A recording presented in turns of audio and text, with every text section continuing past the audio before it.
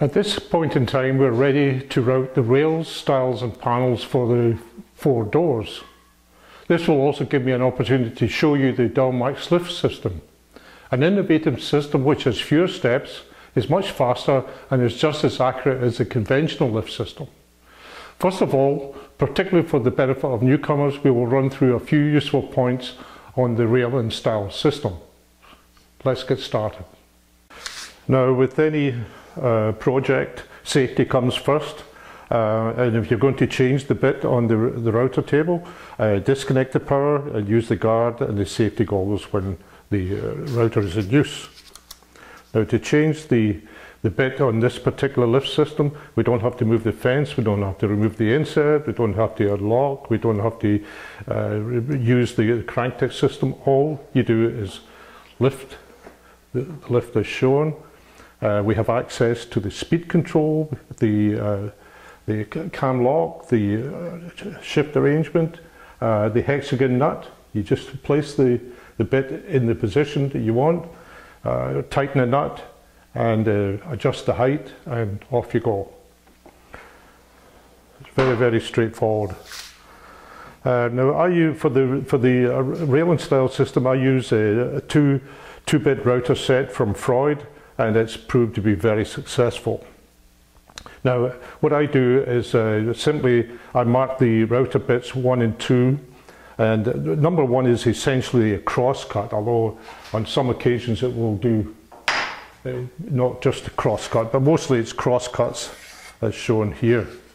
And the reason for uh, I use number one first is if there's any tear out, so on some occasions the, the second cut will remove the, the tear out, but not in all cases. Um, let's see what we have here.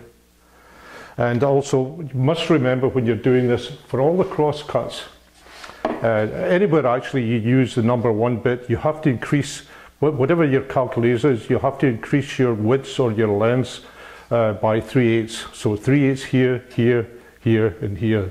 All these dimensions have to be increased. And the same with the, the rail uh, this again is uh, using number one bit. So you um, have to add on 3 eighths for this length and 3 eighths for that. Don't, don't forget that. Um, before you start, determine which face uh, you want and uh, mark the, the face of the, the finished item and that face has to go down in all cases. It doesn't matter if you're using a router bit number one or number two, it's always face down when you're using it. Uh, uh, I use a, a backing block uh, uh to, to, also prevent, doesn't absolutely prevent it, but it helps to reduce tear out. Uh, now I also use this this extension here which is attached to the mitre gauge and the, reason for I get more area of contact, the point of contact is much greater and it's much safer because sometimes you'll find this uh, backing block will tend to get pulled into there and you want to avoid that at all, in all cases. So if you use this extension here, it helps to control that. Uh, now, always, always work against rotation when you're using any woodworking tool. Uh, I once saw a young chap uh, using a, a radial arm saw and it had a rotating head and he was actually feeding the wood into the, the direction of rotation. So he was heading for a serious accident because his hands, the, the blade would have pulled the wood in and his hands would have gone and he'd lost fingers. Uh, so you must always work against rotation. The rotation is here and we're moving this way.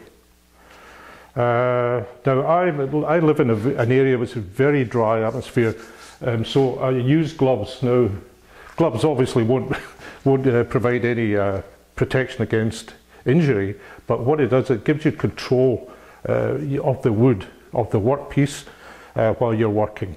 And I find that essential, in, particularly in this type of situation. Now, um, what I found with these Freud router uh, bits, it's a really a good system, but uh, what you do is you, you work your, your um, the, the, blade to ev- so it's even with this top surface of your workpiece, and that's your starting point. And I found that if you remove that and you move this, the, the bit number two into the same height setting, uh, it should be it should be uh, the right match for the two pieces of wood. Uh, you might have to have a small adjustment, but it shouldn't be too bad.